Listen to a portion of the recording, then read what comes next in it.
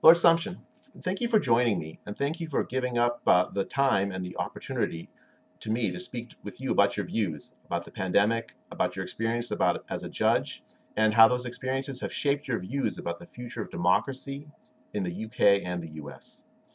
I want to start uh, talking a little bit about a book of yours that I read in preparation for this, this, uh, this conversation on the lockdown, and in particular uh, on the aim of the book, which it seems to me was written in large part before the pandemic. And to, it aimed to provide your views about the norms on which democracy is based. And uh, in my reading of the book, especially the last chapter, which I think you wrote during and after the lockdowns were instituted, uh, that you didn't have a particularly rosy view about the institutions and the strength of the institutions on which democracy was based even before the pandemic.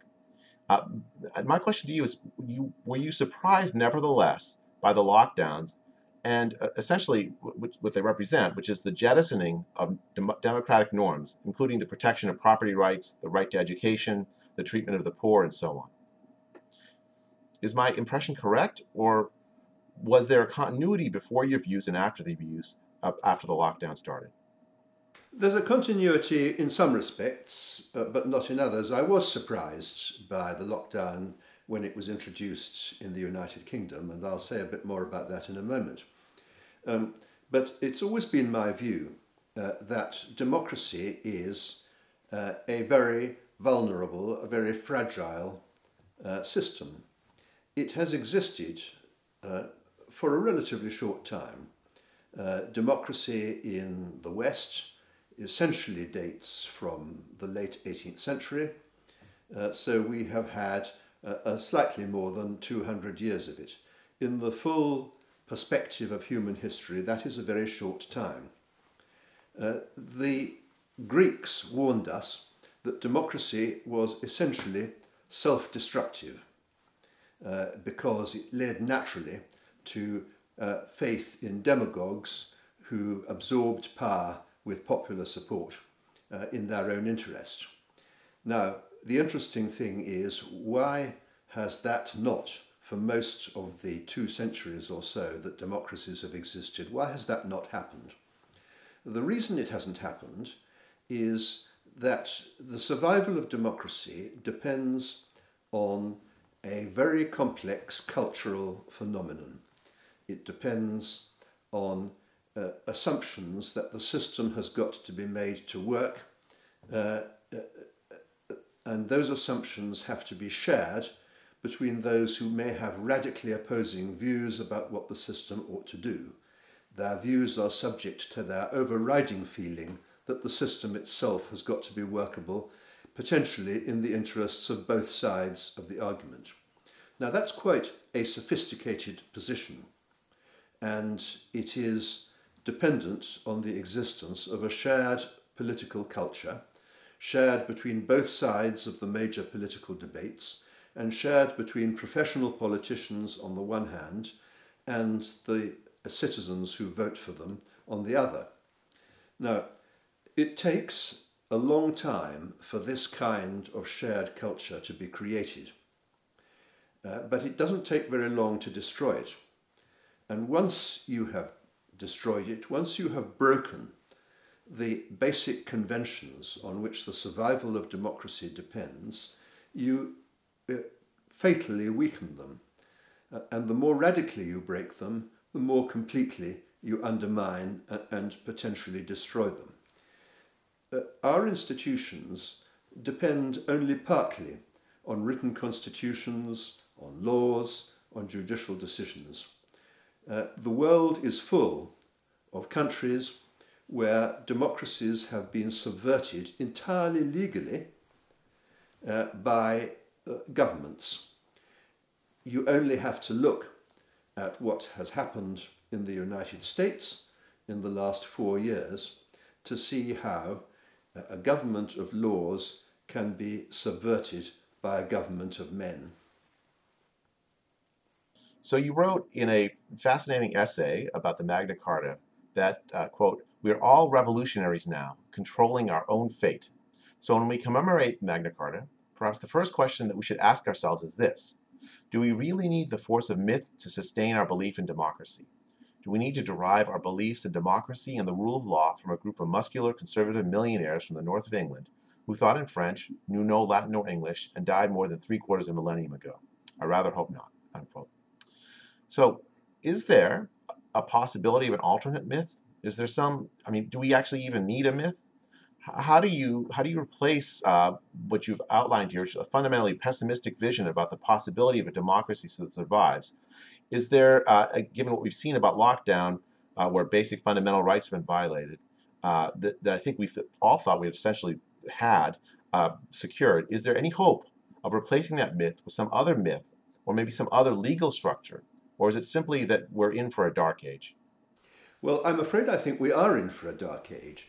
The point about myth is uh, that you need myth if you place your golden age in the past. Almost all human societies have a vision of a golden age. For centuries, perhaps until the end of the Middle Ages, people placed their golden age in the past and they embroidered the past. They developed a myth about what the past had been like, uh, a myth about what they were trying to recover for their own day. For uh, three or four centuries now, Western societies in particular have placed their golden age in the future. It's something that they aspire to. Now, to create something for centuries ahead, myth is just irrelevant. Uh, and so I don't think we need myth. What we need is a culture of cooperation, a culture which is dedicated to something which laws cannot, are not strong enough to create in themselves. What has happened over the pandemic? We, governments need to have emergency laws but because there are catastrophes which can only be contained by the exercise of such laws. Uh, but their existence and their workability depends on a culture of restraint about the circumstances in which they're going to be used and the extent to which they're going to be used. What we have seen at the time of the pandemic is a very remarkable thing because interaction between human beings is not an optional extra. Uh, it is the basic foundation of human society. It is the basis of our emotional lives, of our cultural existence, of every social aspect of our lives, and of the whole model under which we cooperate to produce collectively um, uh, benefits for ourselves. All of this depends on the interaction between other human beings. Now, it seems to me, therefore, that a regime which seeks to make it a criminal offence to uh, associate with other human beings, to gather together with other human beings, is a profoundly destructive, I would go further and say a wicked thing to do. I do not suggest that the people who do these things are wicked. They, in most cases, are animated by feelings of goodwill and a genuine desire to help people. But although they are not wicked, although their intentions are sound in most cases, uh, what they are actually doing uh, is a very seriously damaging thing for any human society. Now, I don't believe that liberty is an absolute value. I think that there are circumstances, it's why I believe that these powers have got to exist, there are clearly circumstances where their exercise is justified. Um, if we were talking about Ebola with an infection fatality rate of 50%, or a sudden escape from a laboratory producing a mass outbreak of of smallpox, infection fatality rate, say 30%, then I could see the point. But we're not talking about anything uh, like that. What we are talking about is a pandemic which is well within the range of disasters that human societies have learnt to cope with over many, many centuries. Uh, there are plenty of statistical indications of that. I mean, you can choose a number of them, but to me the most telling fact is that in the United Kingdom, the average age at which people die with COVID 19 is 82.4, which is about a year ahead of the average age at which they die of anything. In the United States, I believe that the comparison is equally close, somewhere around 78. And this has been the pattern in most countries with the age, the democratic, demographic age balance uh, that most Western societies have. Yes, there's a thousandfold difference in the risk faced by the old relative to the young from getting infected. It's a highly selective epidemic thought that you had. with which we are trying to deal by wholly unselective methods. Exactly. I mean, of course, I argue for focused protection as the right way to deal with the epidemic. Uh, but let me return to that afterwards because I want to I want to push you just a little bit further on your thoughts about democracy. It's striking when you talk about uh, the, the fundamental needs of humans to interact with one another. And of course, the inversion of that has been the fundamental, uh, that somehow during the epidemic, the fundamental human need to interact is a bad thing, a wrong thing, a harmful thing. In a way, it's become a moral good not to interact with another. Uh, it calls to mind, uh, and I think I read this in the book by C.S. Lewis, where he talks about tyranny exercised for the good of its victims, where the idea is that the, the people who are engaging in the tyranny well, they do it because they, they think they're doing it for their for your own good by force. And here with lockdowns, uh, that's what we're seeing. We're seeing that uh, that public health is forcing you to stay apart from your grandchildren, from your kids, and, and whatnot. And they think they're acting virtuously. And there's no limit to what they're willing to do because, well, they're doing it with the with the with the with their own conscience telling them that they're doing the right thing. I mean, how do you turn that around? I mean, I agree with you. The fundamental human need requires us to interact with one another. Uh, and but how do you turn it around uh, the, with this idea that's taken hold of the lockdown that this that these interactions uh, are a are a, a, bad thing? All despotisms, or almost all despotisms, believe uh, that it is for the good of the people that they are being deprived of their freedom of action.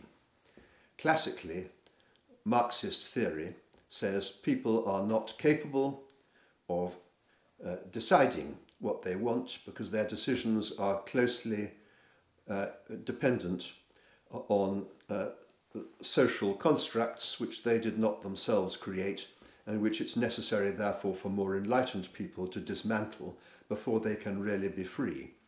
This is the myth of despotisms of both right and left and it is a profoundly destructive myth, the effects of which we have seen uh, in Europe uh, uh over the 20th century, and it's not a world in which any sane person would want to return to. The essential problem about the lockdown and similar methods of social distancing is that they are designed to prevent us from carrying out our own risk assessments. Now, that is, I think, a serious problem in any circumstances for mainly two reasons. The first is we may not actually want to be completely safe. There's a trade off uh, between uh, safety uh, and the actual content of our lives. We may be quite willing to decide that we would rather take the risk of living a little less long in order to have a richer life uh, while we are alive. At an extreme, I can take the example of a friend of mine who is 93. She is an intensely intellectually vigorous woman. She has led an active intellectual life as a journalist throughout her adult life. Uh, she lives for society, for having people to her flat for dinner, for going out. And she, her, she says, I think understandably, I feel as if I am being buried alive. What is more, she says, I may have three or four years left, and the government has confiscated a quarter of those. I feel strongly about that. Now, she is entitled, morally entitled to my mind, to say, I don't want to have this standard of safety imposed upon me by the government. I have my own standards, and my autonomy as a human being entitles me to apply those standards to myself and to the people around me. That, I think, is one objection. The other objection, of course, is that it is unbelievably inefficient, especially with a pandemic of this kind, because it is a highly selective pandemic. Uh, it uh, is overwhelmingly concentrates its effect uh, on the old and on people with a number of identifiable clinical vulnerabilities. Uh, yet, although the pandemic is selective, uh, the measures taken to counter it are completely indiscriminate, uh, so that we impose on everybody uh, a, an obligation to do nothing. At its extreme in the United Kingdom, we are spending about twice as much every month on paying people not to work as we spend on the health system. Now that seems to me to be a perfectly absurd state of affairs. We could be spending money on training up additional nurses, on additional hospital places. We could be doing things that actually had some impact uh, on the treatment of the disease, instead of which what we have done is interfere with the one mechanism which people are most in need of in times of crisis, namely the ability to associate with and support each other. I mean, it's striking to me that the UK has had such a success in vaccinating the older population who are really at the highest risk of severe disease. And uh, in a sense, because of that success, the UK is no longer in, in severe danger from the disease because the population uh, and, uh, that was once at, at the highest risk uh, and is no longer at such a high risk because such a large fraction of the older population is vaccinated. Yet we haven't seen the UK declare victory to say, well, we've conquered the worst parts of this disease. The lockdown is continuing in the UK despite that success. And for the young, I think you agree, and I certainly agree, the harms of the lockdown are so much worse than the disease. Like, and that's true for the vast majority of people. And there's two puzzles in my mind. One is why are the young so much still in support for the lockdown? It, it, strikes me uh, that the young have been harmed by the lockdown very substantially. Both the very young, because of loss of schooling, disruptions in their normal social life and development, and also for the young adults who've had their jobs disrupted, especially the ones that aren't at the top of society who, who, who can't replace their work with Zoom. It seems to me like the, the young have been harmed in ways, so many ways by the lockdown. And so it's a puzzle to me why there's so much support well, um, I agree with your diagnosis entirely. Um, I think that the, there are, I don't profess to understand it entirely, but I think that I can offer at least a partial explanation. The first is I think that the young now lack a historical perspective which would enable them to understand better the dilemmas of human societies and the experience of the past, which is often very instructive. Um, but the second factor that is, I think, important is the politicisation of this issue. Um, it doesn't, it shouldn't have been politicised, but both in Britain and in the United States, uh, the uh, opposition to lockdowns has been associated with the right uh, and the support of lockdowns with the left. I think that this is a quite extraordinary dichotomy because the issues raised by the pandemic and the measures taken against it are absolutely nothing to do with the traditional values which have animated debate on the right and on the left of our political spectrum. Nothing whatever. Uh, and therefore, I, I find it very surprising that this has happened but it undoubtedly has, and one of its consequences, the young on the whole tending to be more left wing than their parents, uh, is an instinctive acceptance of social control as the answer uh, to any major problem. I think there is also among the young a natural and I think unjustified optimism about what human societies can achieve. I think that it has led them to believe that there is potentially nothing that human societies can't do uh, if they have enough goodwill and throw enough money at it. Actually, what we are learning at the moment is that there are many things which human societies have never been able to do and can't do now, and that is entirely to immunize themselves against disease. Things like vaccine achieve a high degree of protection, but nobody, I think, pretends that they eliminate disease entirely. The World Health Organization says that only two epidemic diseases have ever been totally eliminated. The most, the best known example is smallpox, and that took nearly 300 years after the development of the first smallpox vaccines. So we have, and this is again goes back to my point about the lack of historical perspective, we have an excessive degree of optimism about what humans can achieve uh, and the, the problem is that when, as inevitably happens, these expectations and hopes are disappointed, we do not say, well, we were too optimistic to begin with. We say, the politicians, the institutions have let us down. That is the number one reason why democracy uh, has lost its hold over people, especially in the younger generation. This is a phenomenon that has been attested by uh, polling evidence th throughout the West. The Pew Research polls on world opinion uh, over the last 25 years, the Hansard Society's annual survey of political engagement in the United Kingdom, all point to the same uh, conclusion, which is that people uh, are turning their backs on democracy especially among the younger generation, and especially in the oldest democracies, where the initial idealism is no longer enough to sustain the idea. That is a very serious state of affairs. Uh, in the 1960s, we had a rebellion of the youth against the Vietnam War, against conscription of the Viet Vietnam War in particular. And this led to the idea that if you're young, well, you shouldn't trust anyone over 30.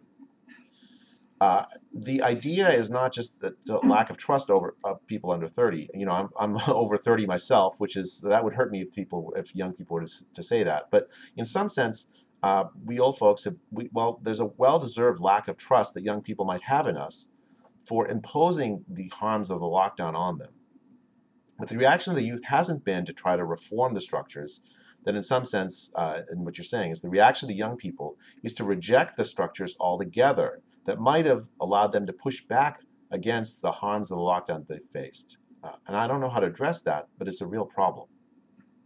I think it is a real problem, but I think that the key to it is uh, disappointed expectations. Uh, looking back historically, as I am afraid almost inevitably tend to do, uh, a good, the best exemplar is probably the United States.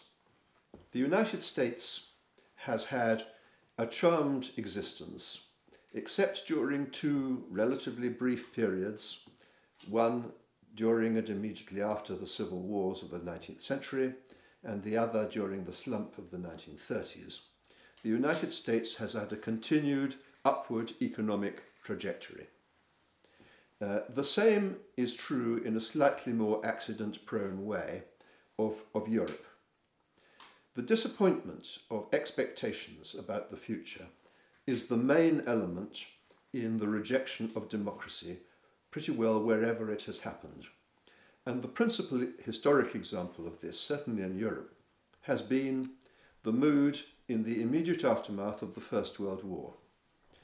Disappointed expectations, disappointed hopes of improvement in the lot of mankind were, I think, the main reason why between the wars so many European countries turned to cruel and insufferable despotisms as the solution to their problems. Um, and uh, what we are seeing now is a less dramatic version of the same problem. Less dramatic for now, hopefully. Less dramatic for now. I hope less dramatic forever. But as yes. I said, I'm not optimistic. I want to return to the lockdowns and to a theme I've heard you say in other public appearances about fear caused by the lockdowns and uh, essentially a policy of fear of the disease. So, it, one of the things that struck me during uh, the epidemic is how the public health uh, agencies, uh, in implementing the lockdown, have used this fear. The fear was not just an accidental byproduct of the facts of the epidemic. The, the facts of the epidemic, as you say, and the disease, you say, are in line with many other diseases we face in terms of the harm. But in fact, there was a policy decision by governments to create fear, essentially to induce compliance with lockdowns. I read an article in the Telegraph, and the main point of it was that in the UK, there's a scientist on a committee that encouraged the use of fear to control behavior during the pandemic. Uh, it admitted that its work was unethical and totalitarian. And this is the committee, this is the Scientific Pandemic Influenza Group on Behavior, which is a subgroup of SAGE.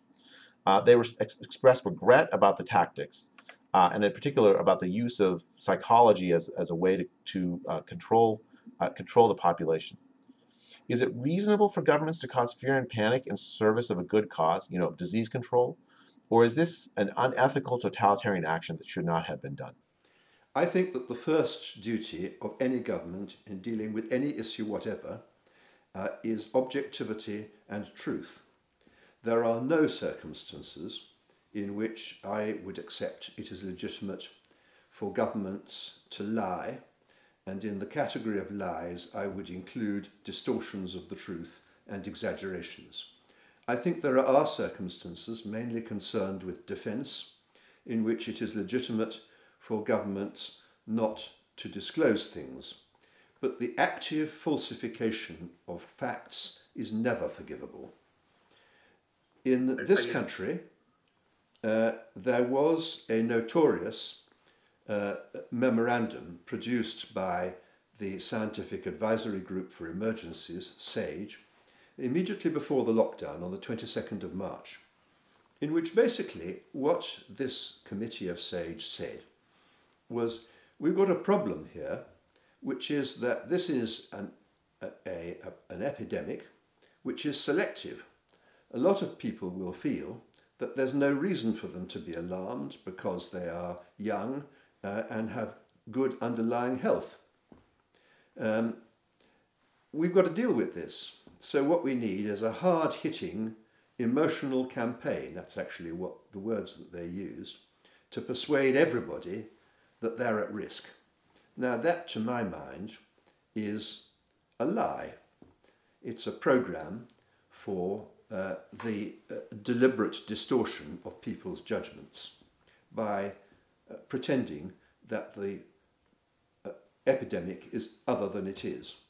Before the lockdown, the chief medical officer in the United Kingdom gave a number of very straightforward, perfectly balanced statements about what the risks of the epidemic were, who was primarily at risk, uh, and what the symptoms were in different categories, and made the point that in fact there was no need for alarm except among certain people whose interests clearly had to be carefully protected. All of that stopped um, with the lockdown. Before the lockdown, SAGE had uh, advised consistently uh, along two particular lines. First of all, they said, you've got to trust people and carry them with you. So no coercion. Secondly, they said that one should try to ensure that life is as normal as possible, except for people who particularly need protection. That had been the basis of planning for this pandemic, which had been in place since 2011 in this country. It was also the basis initially of the World Health Organization's advice, and it was the basis on which uh, highly respected health institutes like the Robert Koch Institute in Germany had advised their governments. Now, all of that went out the window in the course of March 2020. Nobody has ever identified any specifically scientific reason why this advice, which was carefully considered, should suddenly have been regarded as inappropriate. Indeed, they shied away from the subject altogether.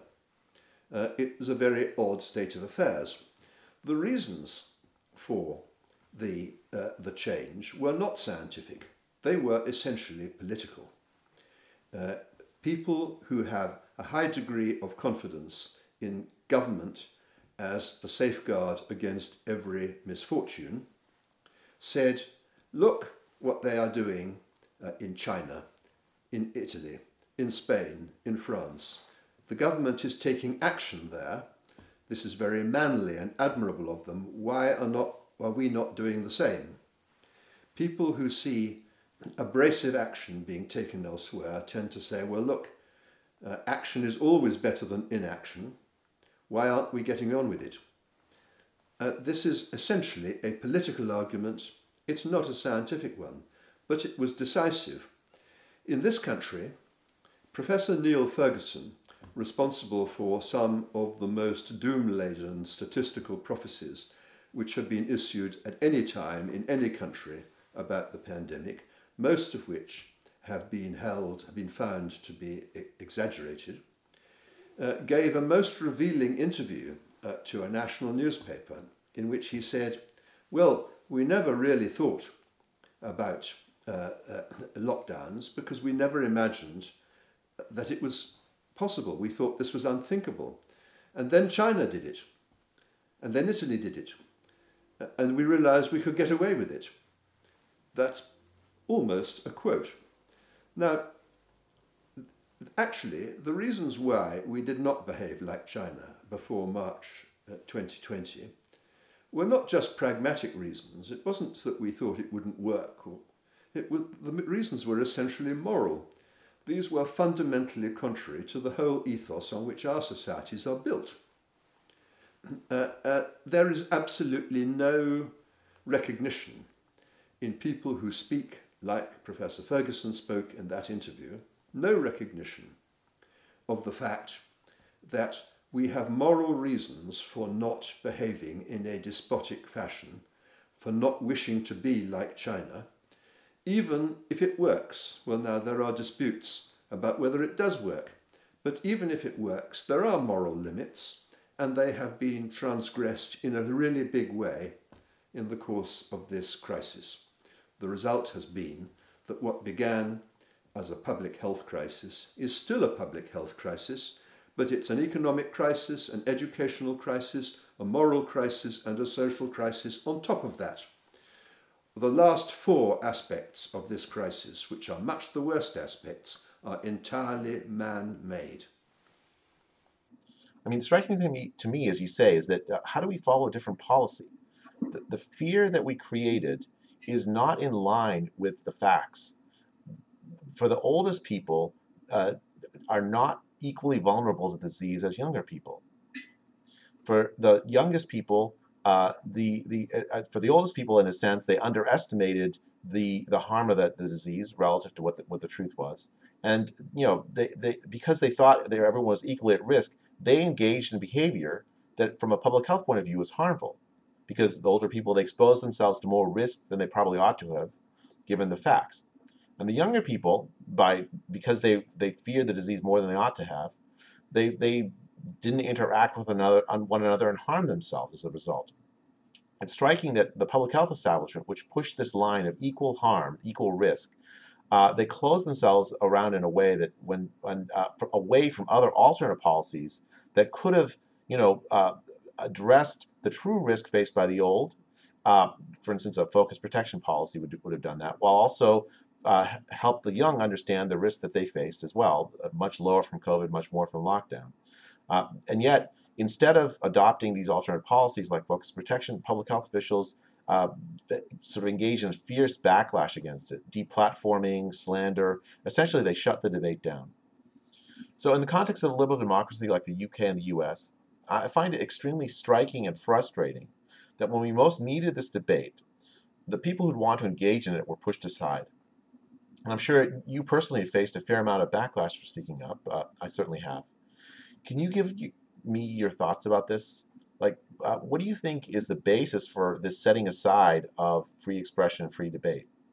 Uh, why did you personally speak up? And, and, actually, if I can get to one other thing, maybe, maybe I can have you address is, what effect do you think this pushback on on you uh, regarding your decision to speak up. What effect do you think it might have had on people who are not in the same position that you and I are in, where, where we have jobs that are protected or uh, positions that are protected against uh, against retaliation? Well, as far as the uh, health establishment and ministers are concerned, the main problem has been that they were pushed into this in a moment of blind panic in March of last year. It is completely impossible for people who have done that then to change their mind because they would have to turn round and say to their people, okay, it was a mistake. We inflicted weeks of utter misery and economic destruction upon you for nothing. Now, I know of only one government that has been brave enough to say that. It's the government of Norway, which at one stage admitted that the catastrophic collateral consequences of lockdown were such that if there were further waves, they would not repeat the exercise. So that, I think, is the relatively straightforward explanation among the broad class uh, of uh, decision makers. Uh, why have others not spoken out? To some extent, I think it is very largely due to the fear that by speaking out they will lose status and possibly lose jobs. I have not been the subject of sustained abuse, as many people, like Sunetra Gupta, for example, have been in their profession. Uh, I don't know why that is, but uh, I suspect that it has a lot to do with general respect for even the retired judiciary uh, in this country. Uh, I'm in a very fortunate position. I'm completely retired. I have a secure pension. I'm not beholden to anybody. There is nothing bad that anybody can do to me, that nothing that I feel any reason to be concerned about. Now that is a, a relatively unusual position. I get a lot of messages from members of the public, some of whom are in influential positions, which say, we're grateful to you for speaking out. We don't dare to do it because it would simply uh, ruin our careers or our influence. Now, some of the people who have sent me these messages are members of parliament. Some are quite senior consultants in hospitals. Quite a few are prominent academics. Now, if these are the people who feel that they cannot express a view contrary to the prevailing norm, then we really are in a very serious position. Now, the problem is that with modern methods of communication, the consensus among what you can call the establishment is amplified by the media and particularly the social media.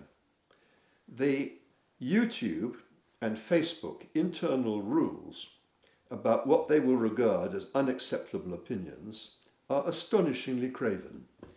The YouTube rules it basically say uh, we are not prepared to allow the expression of opinions that are contrary to the official uh, uh, health policies of governments. Now that's what their rules say. In fact, they haven't carried that to the ultimate degree. They have allowed a fair amount of dissent. And personally, I have never been censored, although I have been a prominent critic of these policies pretty well from the outset of their implementation. But many other people, journalists, uh, distinguished medics like Sunetra Gupta and Karol Sikora, have found themselves censored uh, on YouTube and on other social media for exactly this reason. Now, in a, in a world where their views are being amplified, I think this is a very serious thing. Yes, uh, I, I, was on a panel with the governor of Florida discussing lockdown policy. It was publicly filmed, put on YouTube, and YouTube actually censored that conversation with the governor of Florida, where the governor is attempting to communicate with the public about the basis of his reasoning to not adopt a lockdown. I mean, I found it striking. I mean, it's it's like there's this there's almost two norms here. There's this norm of public health where there needs to be unanimity in, in public health messaging, and YouTube is attempting to enforce that norm rather than the norm of free democratic and scientific debate. Uh, it strikes me that this is, as you say, a political issue where the normal, free, democratic debate that ought to be the, the real norm um, the, the, that rules, and yet it, it hasn't. It, it has not ruled, uh, and not much of the conversation and much of the conversation has been shut down. It's made the lives of many people who'd want to be able to say something very difficult. I think.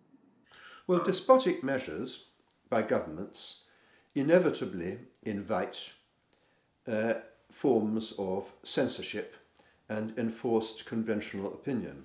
The extreme example of this is Viktor Orban in Hungary, who said at an early stage that the pandemic required him to have complete control over what was said about the pandemic in the press, and he duly had laws passed which conferred those powers upon him. Well, in Britain and the United States, we have not done anything quite as crude as that. But I think that there is a tendency for despotic measures and uh, either censorship or pressure to self censor uh, uh, to become part of the ordinary way of life. I think you also have to remember that the social media are at the moment under distinct pressure from governments on a wider front. There are strong movements, certainly in Europe, I think probably less in the United States, to make uh, the social media responsible as publishers and therefore liable for defamation, for all the things that may be said by some uh, of the more cranky people who contribute to messages on the social media. And governments are trying to rein them in. In some cases, there is an element of political control freakery about this, notably in some places like, well, Russia is an obvious example, but also in parts of Eastern Europe. Now, um, the, the social media have responded to this by trying not to offend governments too much. In, the, in Britain, there have been a number of initiatives, none of which have so far got anywhere, but many of which have had strong political support to control what the media, what the social media broadcast. And I think that there's been a strong element in outfits like YouTube, Facebook, uh, not to upset the government on an issue like the pandemic. They wanted to be good boys. Ask you about judges. Uh, and in particular, it's it's it's been a revelation to me. Uh, unlike you, prior to the pandemic, I had almost no knowledge or interaction with judiciary or courts with, with judges at all. Uh, but during this pandemic, I've served as an expert witness on a number of cases in the U.S. and Canada challenging various aspects of lockdown, including the right of churches to open, to have Bible studies in private homes, uh, for school districts to, to have school in person to meet their obligations, provide education for children, uh, political candidates to hold meetings, public meetings prior to an election. All of this has been stopped by lockdown policies in the United States. And I have to say, the experiences have been frustrating to me. In, in 2020, nearly every case I participated in, we lost. Uh, we ended up losing. Uh, well, there's a spectacular exception to that. Uh, some, and a few of those have been appealed, and we, you know, we've won. Uh, but uh, in, in, particular, I've gone to the Supreme Court. Uh, at least the cases I've gone to have gone to the Supreme Court. At several of them, um, and the U.S. Supreme Court has had to rule on it. But it's striking to me that the U.S. Supreme Court had to rule on something that's so fundamentally, obviously within the norms of what judges and the judicial system protect, which is, you know, the basic right of political candidates to give speeches during election or for worshippers to, to, to, to, to worship freely during to, to, with, for their religious observance. It seems like such a fundamental right. So I have a few questions about that.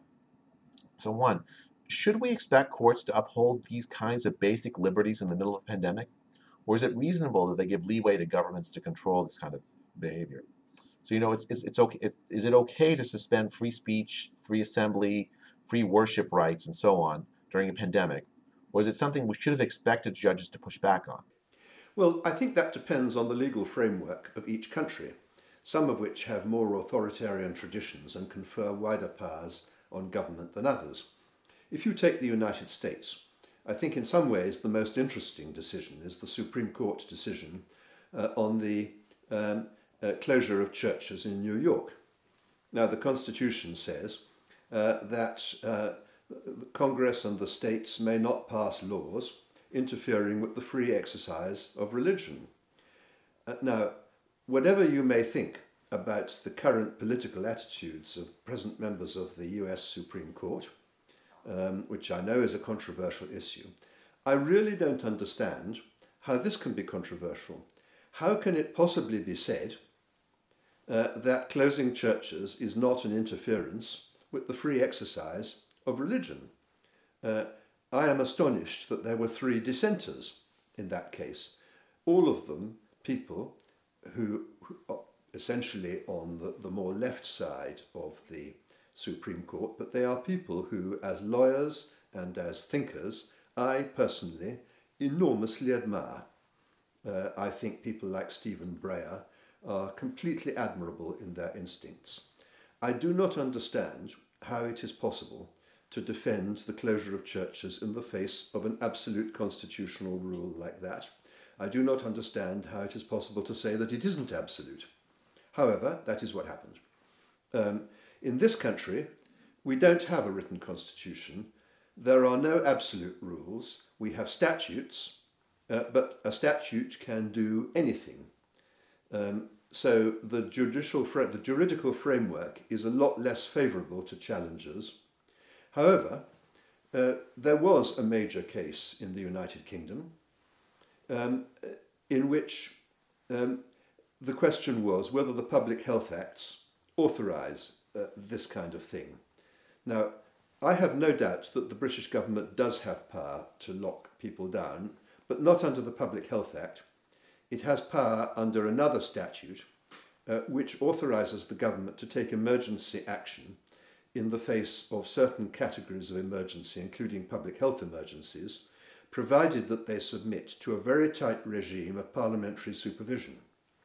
Under the Public Health Act, there isn't a tight regime of parliamentary supervision, so naturally our government preferred to go under that act. I think that was completely wrong because the Public Health Act is concerned uh, with the uh, controlling the movements of infectious people and uh, the use of contaminated premises. It is not concerned uh, with healthy people uh, it is concerned with conferring on ministers uh, some of the powers which magistrates have to close contaminated premises and isolate infectious people. Uh, the uh, Court of Appeal and the Court of First Instance both essentially said, well, this is a very serious situation. The government must have power to do this. The legislator, when he passed these laws, uh, in 2008 in this particular case, must have had in mind uh, that more abrasive measures than that would be available for a pandemic like this. Now, why should they have had this in mind? Nobody had it in mind until a few days before the 26th of uh, March 2020. It had never happened in history before, in any country. So why this should have been regarded as part of the toolkit uh, when, as Professor Ferguson rightly said in his notorious interview, it was completely unthinkable, I simply cannot imagine. And I think that there is a tendency in judges, certainly in this country, not to want to rock the boat in what is regarded as a national emergency. A tremendous row during the Second World War about internment of aliens or people of alien um, origin. Uh, the United States locked up all ethnic Japanese uh, at the beginning of the war, early 1942. We locked up everybody who we thought had opinions uh, that were uh, inconsistent with the war aims, as well as many, many aliens. In both countries, this was challenged right up to the highest court and in both countries it was very doubtful whether the power to do these things actually existed. In Britain, there was a notorious case called Liversidge and Anderson, in which the Home Secretary uh, was challenged for locking someone up on the, when there were no grounds for doing so.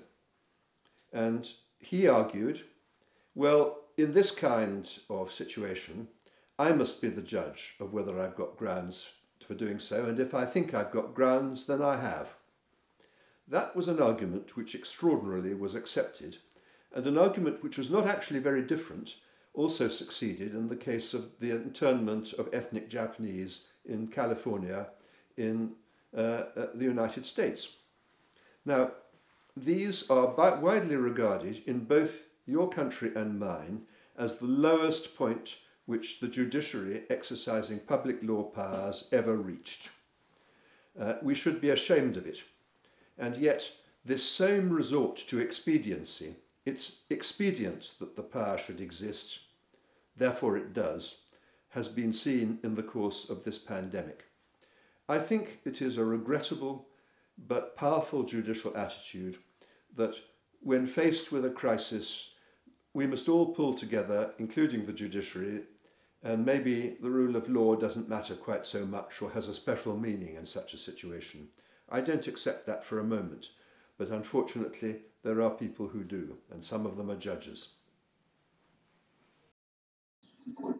Yeah, I think it's striking you use that analogy because I agree with you that in many ways, when we look back on those kinds of decisions in the U.S., like the Korematsu decision, we look back with shame.